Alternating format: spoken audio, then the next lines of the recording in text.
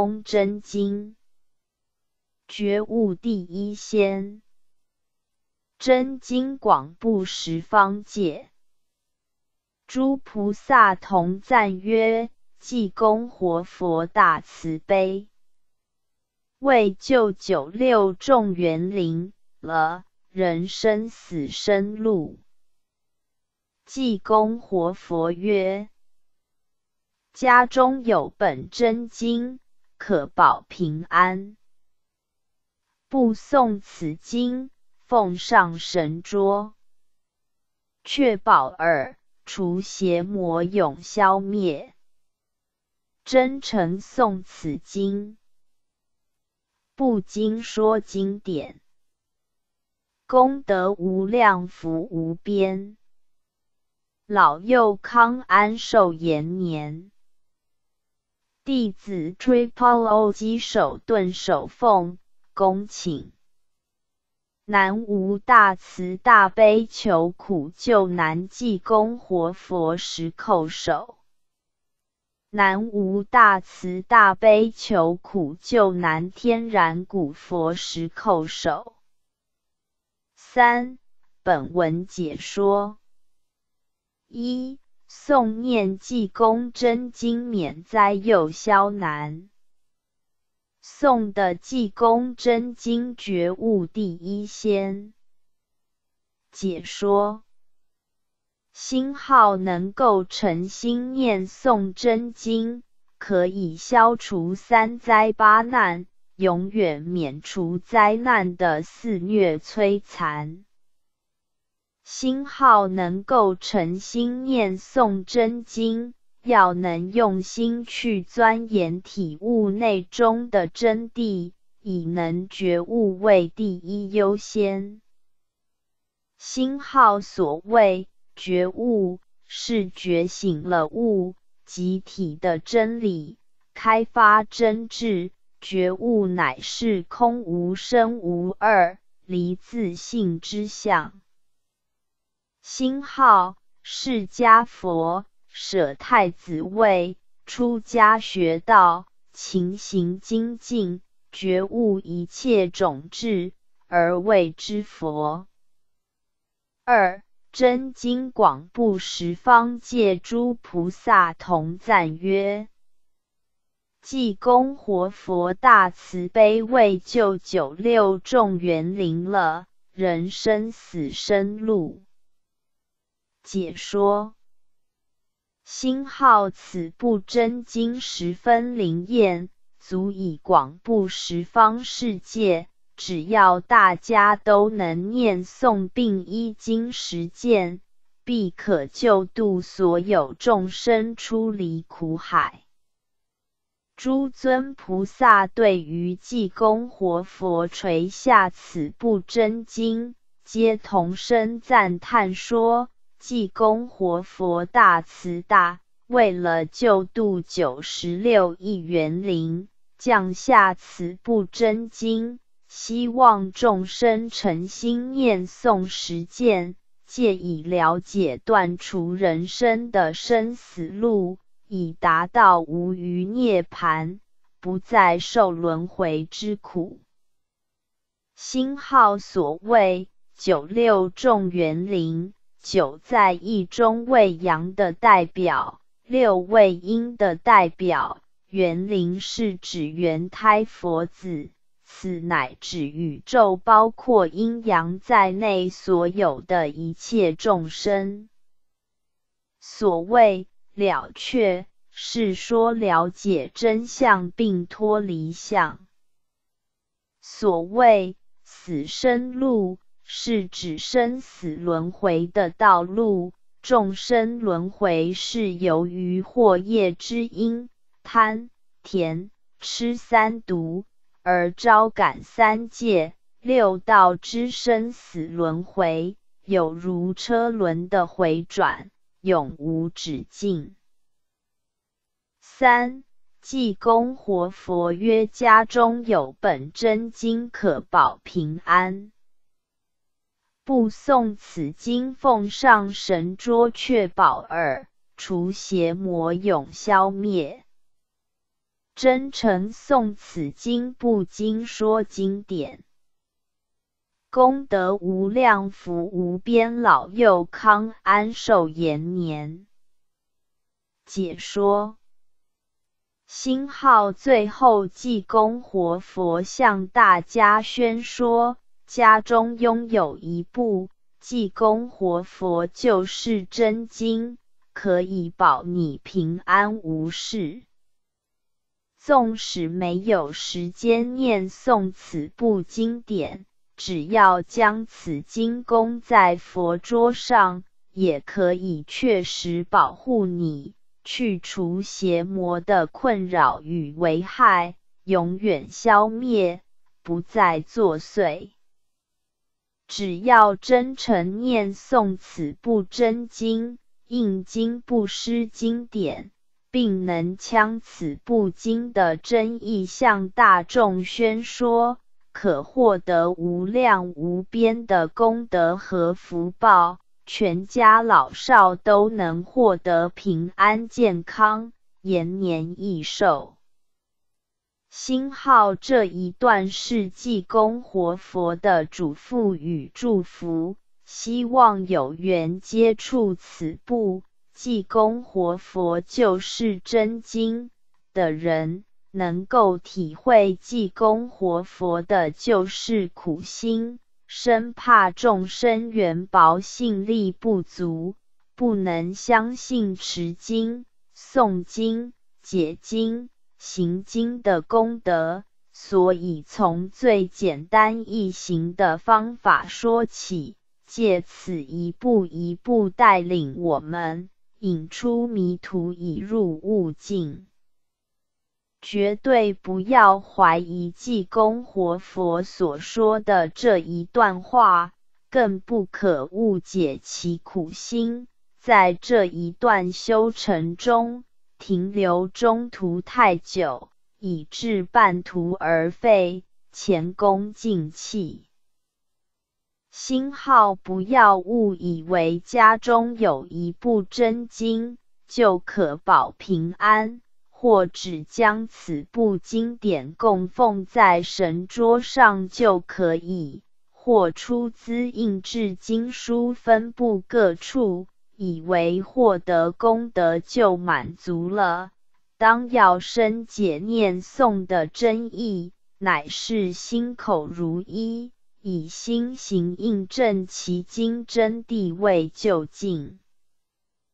星号所谓家中有本真经的真意，乃是指肉体内的这一家主人是本性，要依真经降服诸多身内的不良习性，才能获得平安无事。降服众念之所生，才能发现真主佛性的智慧。星号从世事观察，真理都是藏在深处，并非一触可及的。当一个人尚未理解事情个中的道理，不可知道与我们的关系。往往是漠不关心、置之度外的。如果没有诱因引其入理深究，恐怕永世无缘接触真理的洗涤。是以济公活佛透视世人的心理，鼓励我们：虽然没有时间念诵。只要将此部经典放在神桌上，就能产生保护以及消除邪魔的效果。他是希望借着供在神桌上，就有机会去接触，接着念诵研读施行。星号如果将神桌。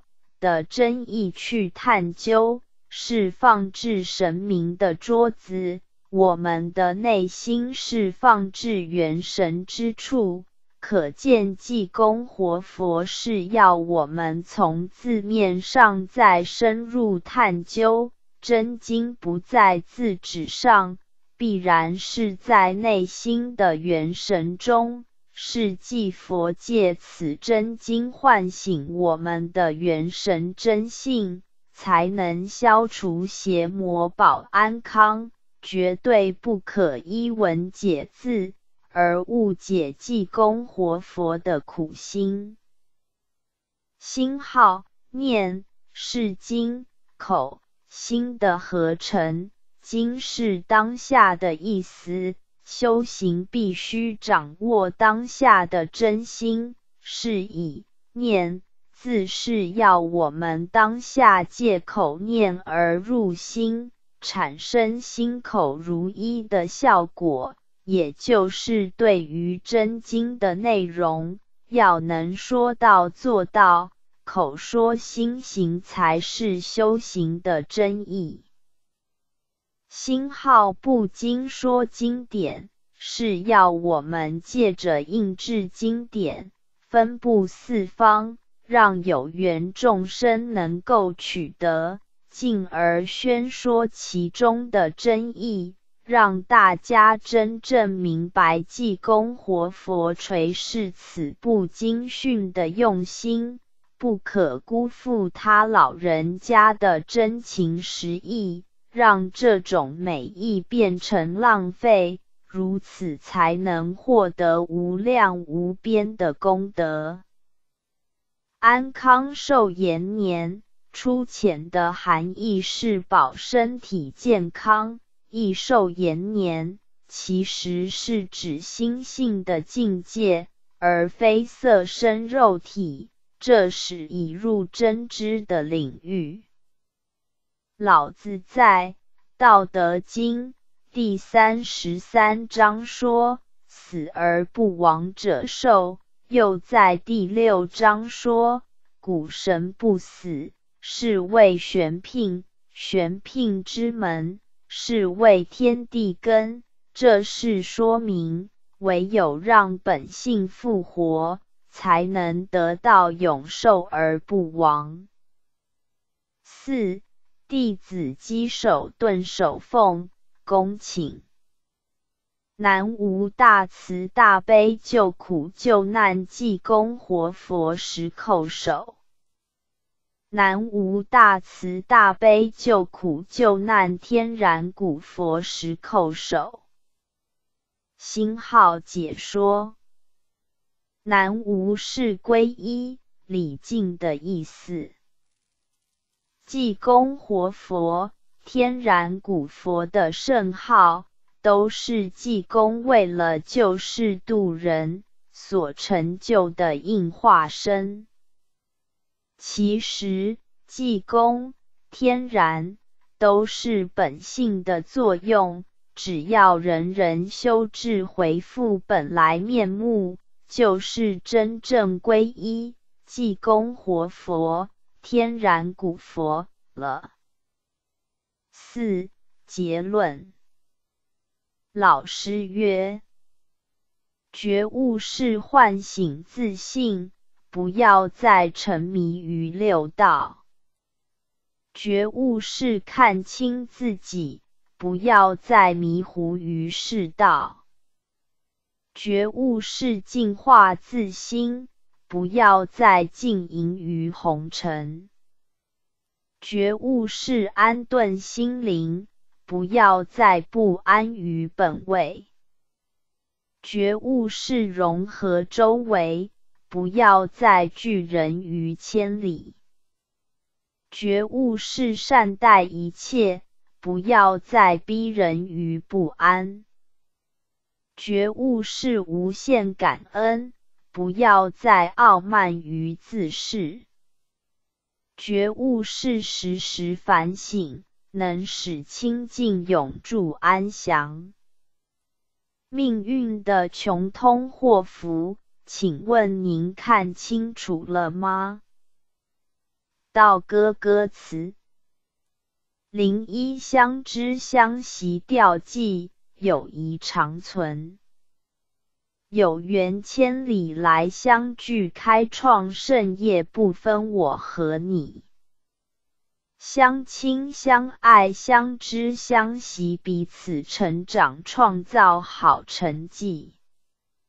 星号多年努力不容易，坚韧不拔学习有魄力。博爱的心发出光欲，照亮每个众生的心地。星号星号天恩浩瀚无边无际，要感恩图报，不要忘记。至诚无息，远大志向力行道，自强永不息。白羊天使并驾齐驱，神圣使命单积极前驱。惊涛骇浪，勇敢冲前去，修办的心永不渝。Repeat，星号星号星号星号星号。零二詹恩德则掉记，风雨无阻。人生是贵在何处参与，悟今生唯一的去路。那红尘风霜雨露困扰人心彷徨，如何来出入？多少忧伤泪双注，多少迷惘，多少感触。幸遇三奇开普渡，沾恩则得天眷顾。星号先的后修加脚步，参与悟修道半道的好处。肯定天命，勇敢踏出修办，尽情挥舞，放心的追逐。人生有几来，丰富暮暮朝朝，朝朝暮暮。那管前行坎坷路，我可以了，愿了苦。星号星号感到昨日种种，昨日已死，向今日换一些诚恳和进度。付出够不够多，与人够不够好，仁义忠恕，有德者不孤。但愿众生明理，道德为吾使命和无悔的风雨无阻。法喜充满心湖，不失二六常驻感恩心怀乐知足。Repeat 星号星号星号星号星号零三大地有爱常若春日。活佛师尊教化菩萨慈训活佛师尊创区。星号在浩瀚的宇宙，我们选择来到这个世上，在众多人海中，我们相约重逢，定要以真诚、开朗、怀恩、喜悦的心，圆满生命之中无限因缘。星号星号还要散播欢乐，散播真爱，让人生像百花盛开的春天，灿烂精彩，朝气蓬勃，让心情如春风柔和平顺，吹拂佛子都清安又自在。Repeat 星号星号星号星号星号星号星号星号零四演好你自己调剂独角戏。星号是谁导演这场戏？戏中演好你自己，不管你是生旦净丑，都要尽力。不能有丝毫假意，全心扮好几角色，每一出戏有结局，故事感人，流下泪滴。每幕人生戏里演出相聚和别离。星号星号，我以真诚感动你，扫尽心里的猜疑。既然都是同修兄弟，时常保有和气。你我心中存敬意，讲的全是好赞语，看来人人都欢喜，曲终人散演完戏。到底鹤从何去？你要知道，莫执迷。Repeat 星号星号星号星号星号。零五明月照星湖钓妓，我只在乎你。星号不经寒风透彻骨，焉能芳香味特殊？逆旅人生酸甜苦，展翅飞翔志不输。好像戏曲一幕幕高潮迭起，多感触。色不迷人，人自悟抽坎田里水火助。星号星号，火中莲耐炼耐磨冰清又脱俗出污泥而不染。风格世上无吃苦了苦，明月映照星湖。不变随缘自在，前程无碍阻。圣德不善道，铺荒漠中现甘露；圣贤路，全力以赴。如旭日东出，repeat 星号星号星号星号星号。零六认真钓记泪海。大道的微妙，用心体会才能够知道。人生的际遇如同波涛，秉持自己的意志。耐过种种的煎熬，是迷哦是悟，谁能辨识真假？真心向道，谁能够体会上天恩德涌泉以报？跌倒了以后，是否能够再跑？谁能够认明来去之路，宗旨再报？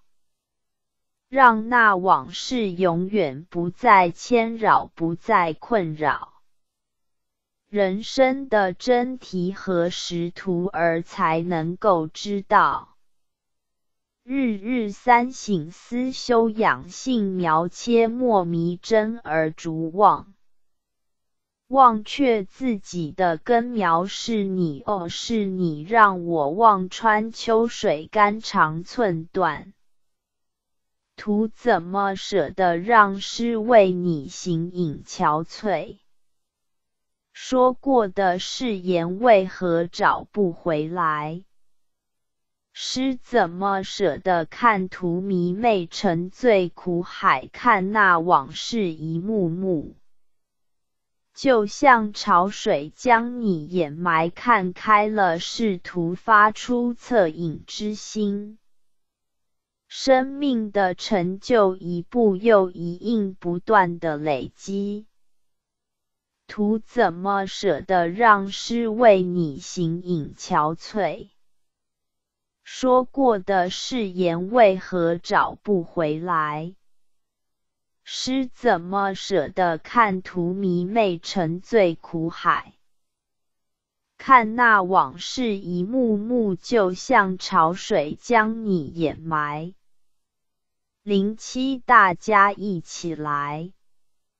红咚咚那脸儿轻轻发烫，喜洋洋欢乐笑声回荡。相牵手，甘与苦一起分享，从今后谱生命新乐章。精神正步迈开，发扬无踪，放光彩不宏高不傲慢。谦虚有礼，低姿态；真诚慢风沙盖灰灰尘土，拍一拍不怕痛，不怕摔，跌倒还要站起来。红咚咚那脸儿轻轻发烫，喜洋洋欢乐笑声回荡。相牵手，甘与苦一起分享，从今后谱生命新乐章。当自强陋习筛大任肩扛道德灾怀壮志凌云排，清奇磊落连品哉。拔贤能系同柴，其心力可化时代确实难。我实在是真不赖。Repeat。零八度化人间词，庄奴区，王建勋。星号您的步履像白云飘蓝天，您的足迹像绿水绕青山。时而若隐，时而若现，时而就近，时而遥远。来来去去，带着满怀慈悲，匆匆忙忙，为了度化人间。来来去去，带着满怀慈悲，匆匆忙忙，为了度化人间。您的步履像白云飘蓝天，您的足迹像绿水绕青山。一生朴实，一生平淡，一心修佛，一向行善。星号星号来来去去，带着满怀慈悲，匆匆忙忙，为了度化人间。来来去去，带着满怀慈悲，匆匆忙忙，为了度化人间。Repeat 星号。空白多处是原始档图片所在处。刘银明，二零一一年八月十八日十五点五十四分。济公活佛慈训发译崇德，九十九年八月二十八日普里天元佛院学界法会。今日里。为师与徒儿欢喜同在，望徒儿真正明白为师的训语。现实下，多少多少年轻人忙什么？是课业还是游玩？说说沉迷于网络虚拟世界，脸书书脸。在这颠倒的世界中，徒儿，你忙什么？千万可别把自己被电脑给挂碍住了。美其名放松压力、减压、减压，可知道这当中暗藏多少陷阱？别太自信自己。所以，这种科技你用在合理处可通；若用在心机处，不可不可。故徒儿们，好好明白为师的话，从现在开始推行经书书经，而不再是脸书书脸。这是救了你的心，救了你的愿。有人沉迷，半道成了有借口，渡人成了有借口。以前没有时间观念，现在为了收成，时间有了，是吗？所以道中之人，该将自己的生命。用在度化世人上，自己有限的时间，当充实道学，和圣贤同在，和仙佛同愿，这才是真正修道人。希望每一个徒儿好好修，好好办，时间用在对的地方。你必定成圣成贤。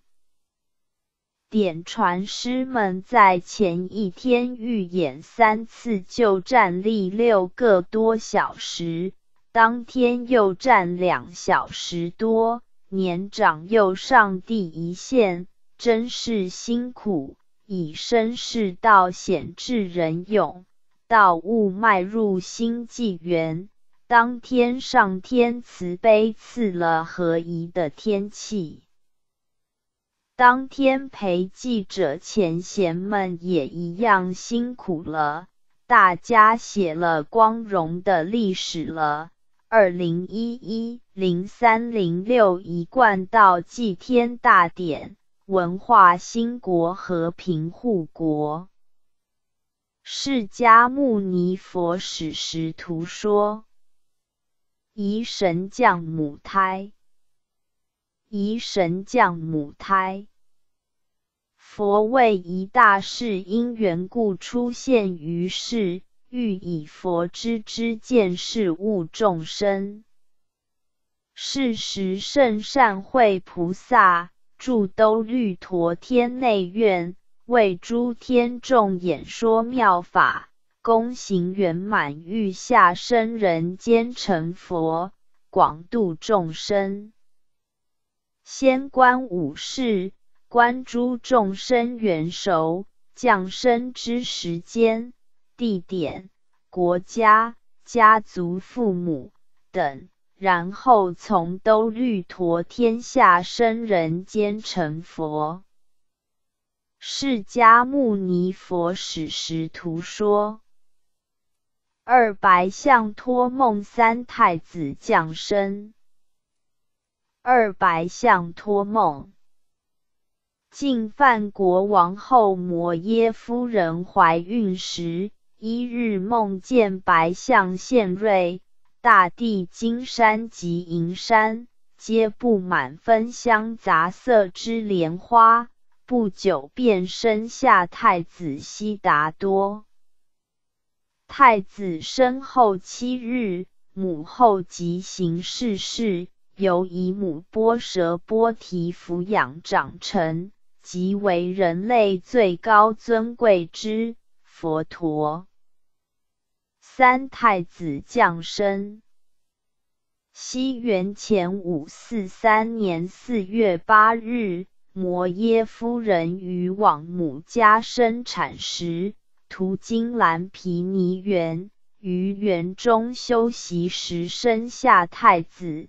当时有四大梵天使者为其接生，宇宙充满光明，天奏妙乐，百花齐放。太子即时踏着莲花步行七步，一手指天，一手指地，畅言：“天上天下，唯我独尊。”释迦牟尼佛史实图说。四相师礼敬五手不福田。四相师礼敬，老仙人阿斯陀战向太子，即时赞叹云：“我不拜梵天，而礼拜此儿。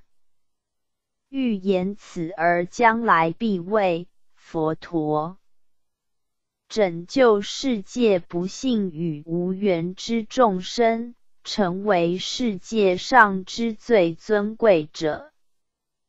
五手不福田，晋范国王延请熟悉三吠陀典之婆罗门，为太子命名，时太子就坐毫不为动，众军拜服，故命名为。悉达多，亦为释家族中田径而成功者。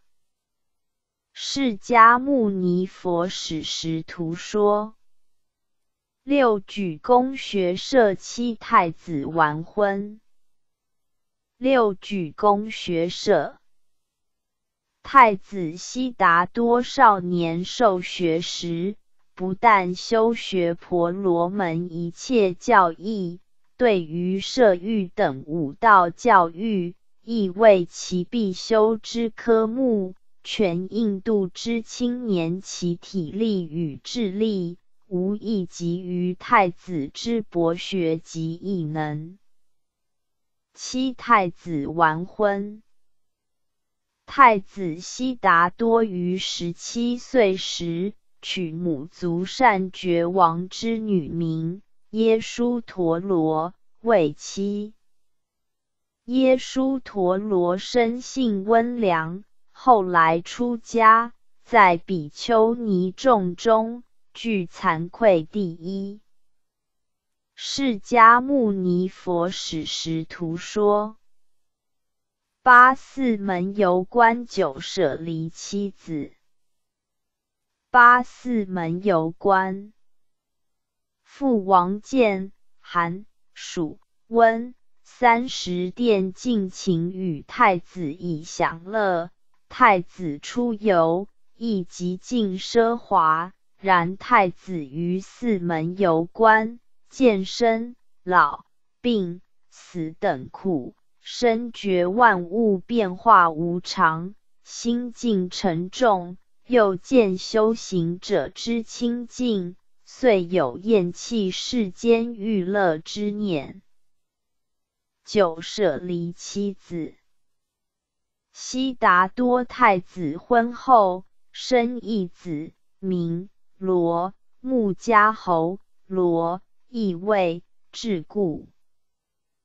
太子时常用智慧观察世间一切悲哀、痛苦、欲乐、老死等问题，为求解脱故。决定出家修行，因事回到寝宫，见妻儿已熟睡，终于舍离走出。附注：桎梏，行具名，就是脚镣手铐，不自由之意。释迦牟尼佛史实图说。时骑马出家十一剃法相道。时骑马出家，悉达多太子骑乘白马鸣，监制离开王宫，带着马夫名车逆扬鞭出城，向东南方疾驰而去。到深山旷野去追求痛苦的解脱与人生的真理。十一剃法相道，悉达多太子至居历城外之阿努比耶村，坐于河边，解开头髻，割断长发，卸去服饰，交由车逆带回宫。自己披上土色袈裟，托起饭钵，飘然而去。释迦牟尼佛史实图说：十二六年苦修十三木女陷入。十二六年苦修，太子出家后住于黑林，过着乞士生活。国王闻后甚为哀痛，百般劝告，无能挽回，遂命焦成儒等五人陪伴太子修行。此五人即后来之五比丘。太子出访外道教以苦行，为求真理，终失所望，乃改以自行内求。苦修六年，日进一麻一脉，终至身体消瘦，面色枯萎。十三木女献乳。悉达多太子六年苦修，仅得一缕命脉，犹未得到解脱。因觉身心本位合一。乃非绝食或苦行所能解脱，遂起坐进入泥莲禅河，洗净尘垢，终因无力支持，卧倒于地。是时有一牧牛女名须蛇多见状，供养乳糜，后乃恢复体力。焦成儒等以为太子变质，主舍太子离去。释迦牟尼佛史实图说：十四降伏群魔，十五正悟正觉。十四降伏群魔。太子离开苦行林后，到菩提迦耶，于菩提树下安坐，誓言：若不悟道，全身虽灭，亦不起此座。诸天皆为赞喜。唯有魔王波旬不乐，发动魔兵魔将来威吓他，然太子终不未动，结果魔王被降服了，收回魔兵回去。十五正悟正觉，西元前五一三年十二月八日黎明前。悉达多太子于菩提树下举头看见天上明星，悟觉叹曰：“奇哉，奇哉！一切众生皆有如来智慧德相，但以妄想执着，不能证得。以此如实之见，正知正见之大道。”悉达多太子便成为万世至尊佛陀。释迦牟尼佛史实图说：十六驱走魔女，十七富商献供。十六驱走魔女，魔王得知佛陀成正觉，便派遣其三个女儿名。唐诃、次迦、阿拉蒂到达佛陀夫座之处，存心诱感，但佛陀默然置之，不为所动。结果火焰变成和风，憎恶变成莲花。魔王三女失败而窜。十七富商献供。佛陀于菩提树下独处四十九天，享受解脱法喜。时有二商人名塔菩萨与巴利卡者，旅行经过，目睹佛陀庄严德香，甚为敬服，乃供养烙饼与蜜。此为佛陀成道后第一次接受供养。释迦牟尼佛史实图说：十八梵天请求十九出转法轮。十八梵天请求，梵天沙恒巴从天而降，恭敬礼佛，请求佛陀弘法。普度众生，但魔王则促请佛陀涅盘。结果佛陀答应梵天，愿大开佛门，普度众生。于是为四十一位法身大士说华严大法，四说阿含、方等、般若。法华涅盘等五十说教，十九出转法轮。佛陀离开菩提迦耶，至波罗奈城之路也愿。十交成如等五人于路也苑中人修苦行，遥见佛陀前来，互为约束，不予接待。待佛陀接近时，一睹佛陀之庄严德香，不其敬相恭敬。即听佛陀说法后，教臣如首先正道，其余四人阿湿婆氏、拔提、摩诃南、婆沙婆等亦次第成阿罗汉，是为三宝之始。释迦牟尼佛史实图说：二十制度耶舍二十一度迦叶众。二十制度耶舍。佛陀在鹿野苑与五比丘第一次结下安居后的长者子耶舍为弟子。耶舍之父感至佛所，亦闻佛法，亦得法眼而皈依三宝，是为最初之优婆塞。翌日，佛陀应耶舍之父礼请接受施食。耶舍之母及其妻亦皈依三宝，是为最初之优婆夷。又有臣民五十四人受耶舍引导出家，是为僧团之始。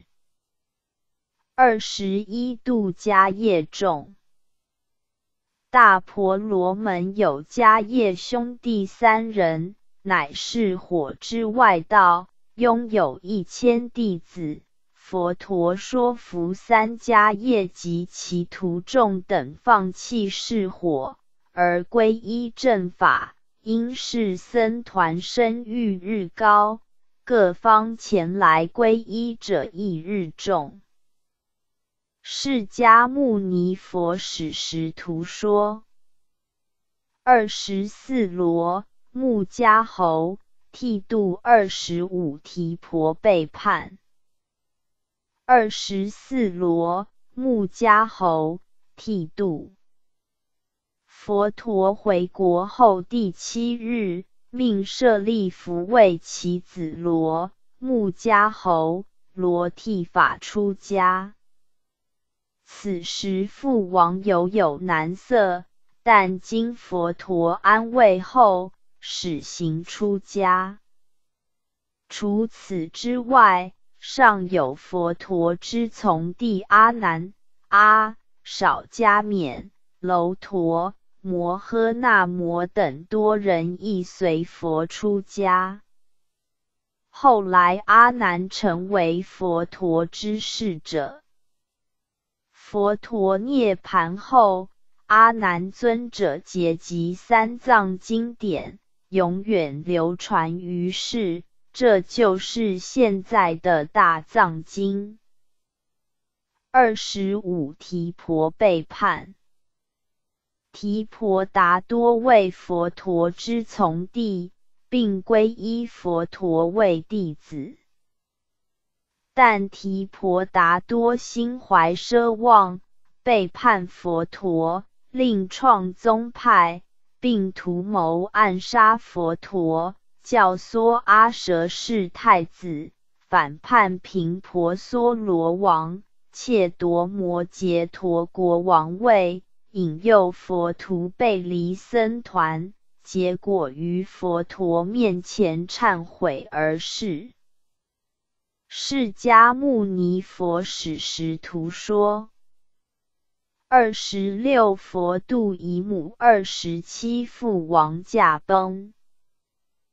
二十六佛度姨母，佛陀之姨母为佛继母波舍波提夫人，由耶输陀罗佛妻陪同，率领宫女五百人，恳佛准许加入僧团。遭佛陀再三拒绝后的阿难尊者之请求，即立八敬法准妇女出家，是为比丘尼之始。二十七父王驾崩，佛父净饭王叔头陀那年老病笃，佛陀为尽人子之责。回国事后父王，并为父说法，净饭王政务而逝。佛陀送终福观，不施财物，表示孝敬。释迦牟尼佛史实图说：二十八位母说法，二十九梵天下降。二十八位母说法，佛陀为报答其生母摩耶夫人之恩，曾生刀立天为母说法完成孝愿后，仍回人间广度众生。附注：刀立天意为三十三天，此天天主名是提桓因，俗称玉皇上帝，曾皈依佛陀，为佛弟子。誓愿保护佛教，做佛教大护法天。二十九梵天下降。六月初四日，佛陀从刀立天宫回人间，这时大梵天王随佛下降，请佛说法，提出恶毒、布施、贪厌、忍耐、阴险。珍贵、痛苦、死亡、福报等问题，经佛开示后，心中充满喜悦，合掌礼拜而去。释迦牟尼佛史实图说：三十度歌利摩，三十一佛般涅盘，三十度歌利摩。佛陀于王舍城池播出外乞时，途中遇一强盗割利刺杀其母，为佛制止，因是割利转变真心，皈依三宝，但结果为一封僧。三十一佛般涅盘。佛陀最后受铁公之子纯陀供养后，至居师那迦罗城，于梭罗双树下般涅盘。时西元前四六三年二月十五日中夜，佛寿八十岁。释迦牟尼佛史实图说：三十二分四舍利。三十二分四舍利。佛陀涅盘后，遗骸涂皮，火葬。佛舍利分为三份：一份与诸天，一份与龙王，一份留在人间，分与八王，由诸国民众各建宝塔供养。道清表演三山坡里母亲及演后与周典传师、金知周前人及演领任合照。天道奥义，第一章天，第二章道，第三章道统，第四章良知良能。第五章道与人，第六章修天道，第七章万法归宗，宗者道也，义也。第八章解脱生死，道清表演三山坡里母亲。道清表演三山坡里母亲及演后与周典传师、金知周前人及演领任合照。